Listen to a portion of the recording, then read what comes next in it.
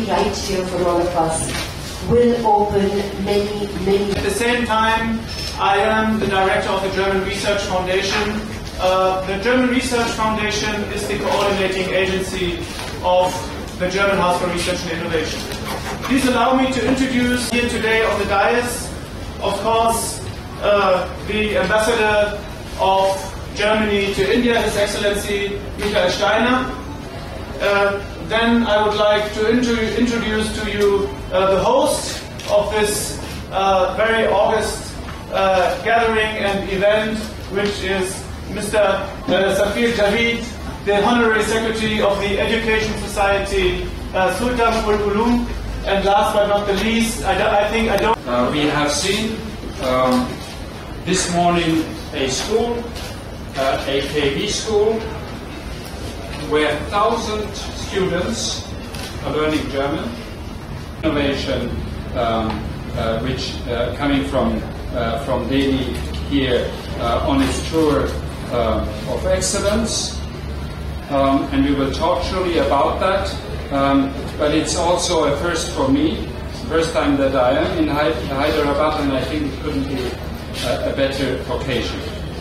Um, I'm also very grateful that we could, and there had been some bureaucratic uh, discussions before, I must tell you, that we could bring one of Markus Heinsdorff's uh, beautiful uh, gemstones uh, pavilions here to Hyderabad. Uh, this pavilion here um, has seen more than half a million of visitors in five melas last year all over the country. Um, and it was uh, one of the visual highlights of the Mela we had during the year of Germany here in India. Now, uh, this pavilion will be uh, for eight days home uh, to Indo-German Science Cooperation at its best. And I think that Hyderabad well, was well chosen. Cyberabad stands for excellent universities and high tech, everybody uh, knows that, of course. Now, Indo-German uh, Science Cooperation is the defining pillar of our bi bilateral relationship. Uh, India and Germany are both hubs of knowledge. Language, higher education and learning, that is the currency of the globalized world.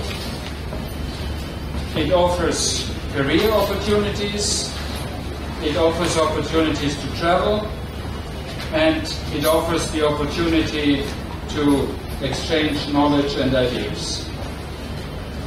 We want to bring together the young, bright minds of both our countries. You might be aware that we had Indo-German intergovernmental consultations on the 11th of April in Berlin between Chancellor Merkel and Prime Minister Singh with a number of ministers on each side. And in fact, my impression from this very intensive meeting in Berlin was that science was at the center uh, uh, of uh, these talks. Um, science and education. 10 out of 16, 10 out of 16 signed MOUs and declarations were on science and education. And let me tell you, we made, for example, quite an impressive progress on specifically two areas. One is the promotion of German as a foreign language in India. We signed a text which has as its substance the increase of the status of German language teachers, Indian German language teachers, at universities, uh, boosting by that uh, our program German in Thousand Schools.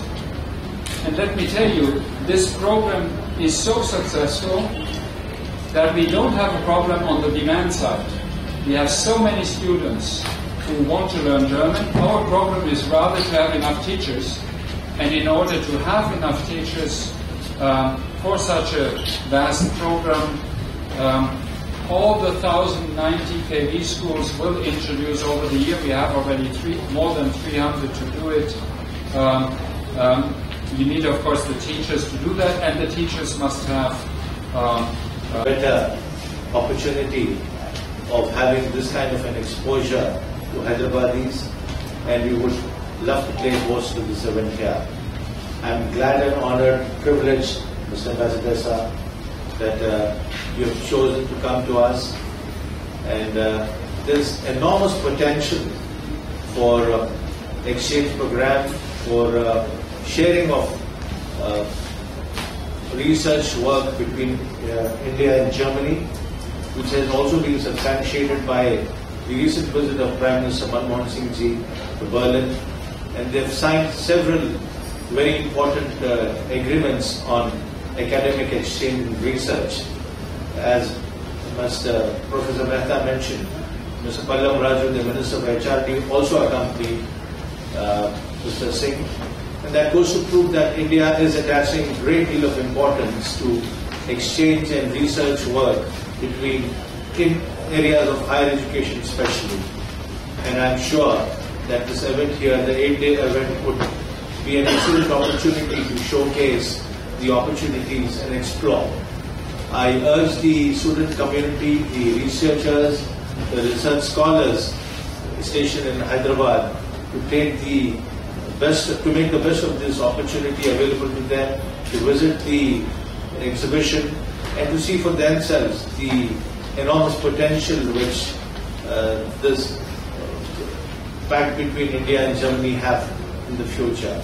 I once again thank all my friends from the press for having so well reciprocated to our invitation to come here this evening. And I'm sure that you would uh, give equal coverage in your columns tomorrow because that will really help the student community to understand work between India and Germany. Thank you. Thank you, Mr. Secretary, for your statement. We would like to allow or give the floor to you now um, to ask questions uh, the dignitaries on the dais. Please, the floor is yours.